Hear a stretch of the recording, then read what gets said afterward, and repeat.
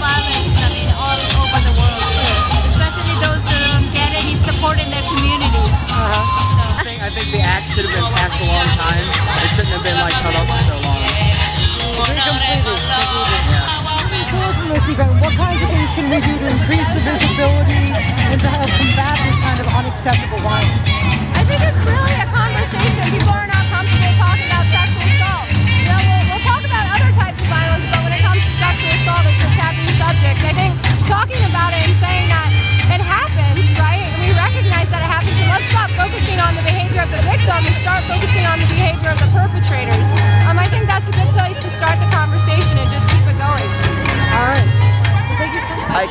Well, I came here because uh, I heard that one. I heard about the event One Billion Rising, where women are coming together and finally starting to stand up for themselves because for so long, uh, it, violence against women almost right now at Yeah, 2 it's been an o'clock to 4 uh, o'clock not many people down have spoken out at about the steps of the And Lincoln Memorial. people are finally We're starting to doing an action where we're no one else it's really, really, remembers really as a call to that create a permanent national memorial to survivors of rape and abuse. dresses or the way she It's unacceptable. solutions.org and um, we're here to urge people to sign a petition to ratify CEDAW, which is um, the International Women's Rights Treaty. Um, the U.S. is one of seven who has not ratified it yet.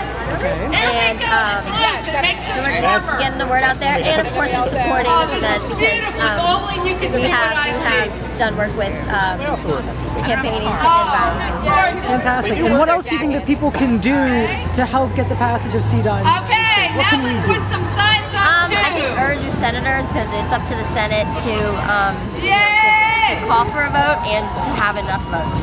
Um, so urging your senators is really important. Why am I here today? Because I feel that violence against women and rape is a very serious worldwide problem and it needs to be stopped right now.